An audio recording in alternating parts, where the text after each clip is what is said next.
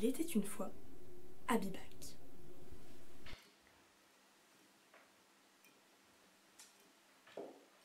98% des élèves prennent espagnol en LV2. Des classes d'allemand avec seulement 8 élèves Ce n'est pas rentable. Et surtout que certains élèves chez nous préfèrent prendre le latin plutôt que le français.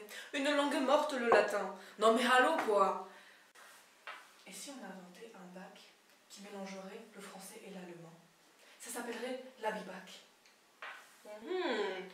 Dire qu'on mettrait plus d'heures de cours et plus d'épreuves à certains élèves afin qu'ils obtiennent un double diplôme leur permettant d'étudier dans les deux pays Exactement.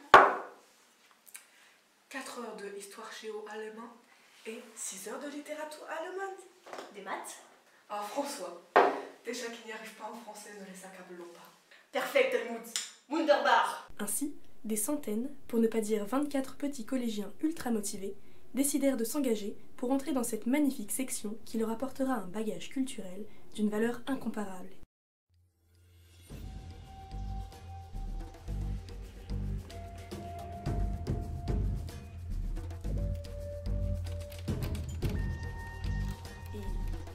Attends, excuse-moi?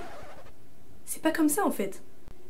Il suffit de remplir un dossier que te communiquera le secrétariat de ton collège. Ensuite, tu vas être convoqué à un entretien.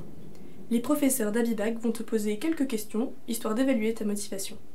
Wie heißt du? Wo wohnst du? Wie alt bist du? Warum bist du Abibac machen? Magst du essen? Magst du Tee? Wer bist du? Ich, ich, ich mag äh, Deutsch sprechen und essen. Bravo, tu as réussi Mais, au fait, qu'est-ce que tu vas apprendre en Abibac Accroche-toi bien, parce que c'est un peu compliqué. En littérature, tu vas être évalué sur le programme de première et de terminale. Pendant ces deux années, vous allez étudier des œuvres ou des thématiques sur lesquelles tu pourras être interrogé au bac, à l'oral comme à l'écrit.